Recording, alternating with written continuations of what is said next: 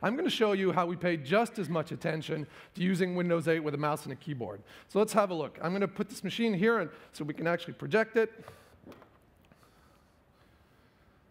And here we go. So I am at the lock screen here. I'm going to just hit enter to unlock. So this is no more control alt delete. I just hit enter, which is really nice. Um, Julie, I protected my machine, my computer with a password just the same way Julie did. Now, hers doesn't have a mouse and keyboard, so she did a picture password, which works great for a tablet like that. I have a keyboard, so I chose to just use a pin.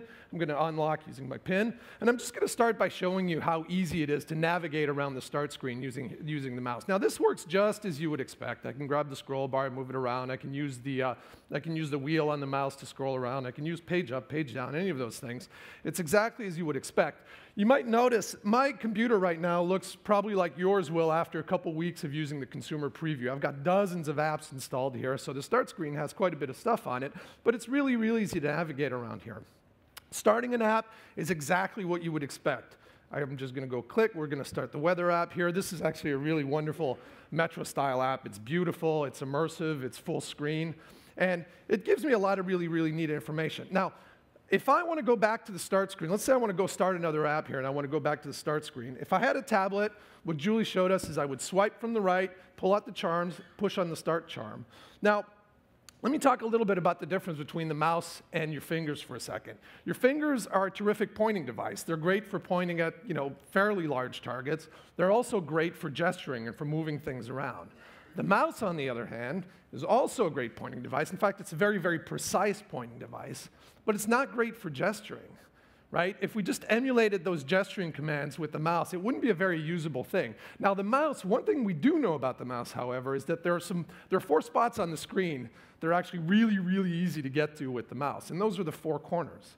It's really easy to just move your mouse to the top left corner or the top right corner or something like You can do it with your eyes closed.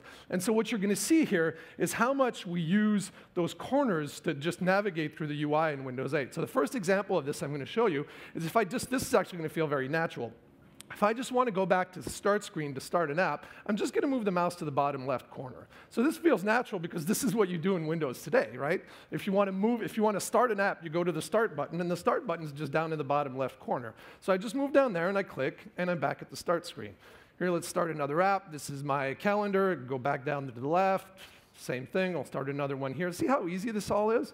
I can just it's incredibly fast and fluid to just navigate this UI and go back to the start screen this way, right? So uh, one of the things that Julie showed was zooming. Zoom actually works really, is really, really convenient with the mouse as well. So I can go down to the bottom right corner where that little magnifying glass is, click, and I zoom out.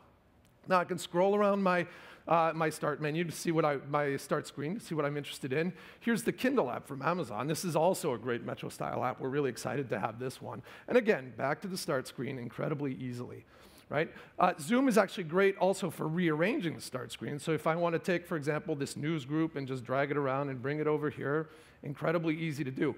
Rearranging individual tiles is really easy. I can just tear them off, move them around. This works exactly as you'd expect. Actually, watch what happens here as I move it down.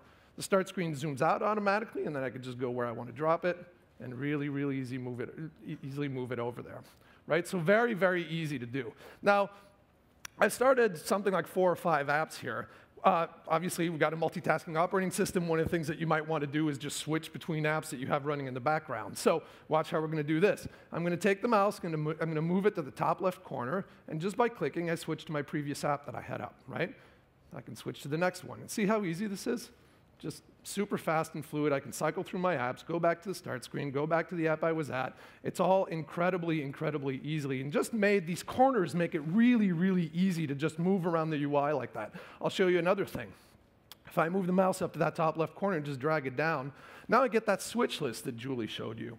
Right? Now I've got all my running apps here. I can just pick the one that I'm interested in switching to, and there I am. Bang, I'm back where I was, back at the start screen. So fast, fluid, easy to move around.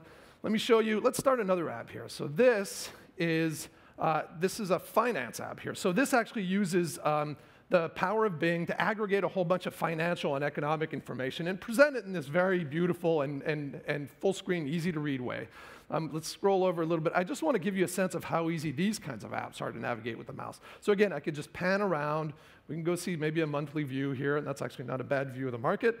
Um, and I can just go click. I can hover over this, for example, and get individual data points. So this works exactly as you would expect it to. It's very, very, it's just as easy to navigate these apps and navigate the system with the mouse as it is to do with your fingers.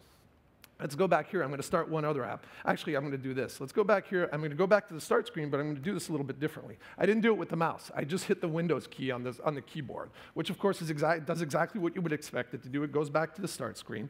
Uh, one of the things that power users love to do, you see this a lot in people using Windows 7, the power users, instead of clicking around to go start apps, they'll just hit the Windows key, which brings up the start menu. They'll type the name of the app or start typing the name of the app and hit enter, and the app will run. Same thing works here.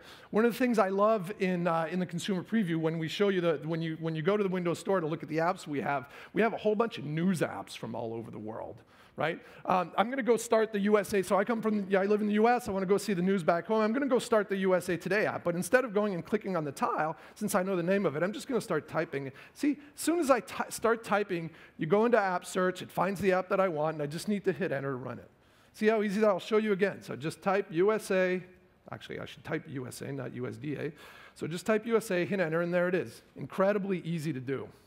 This is another beautiful app. Let's go drill into one of these articles, maybe this one.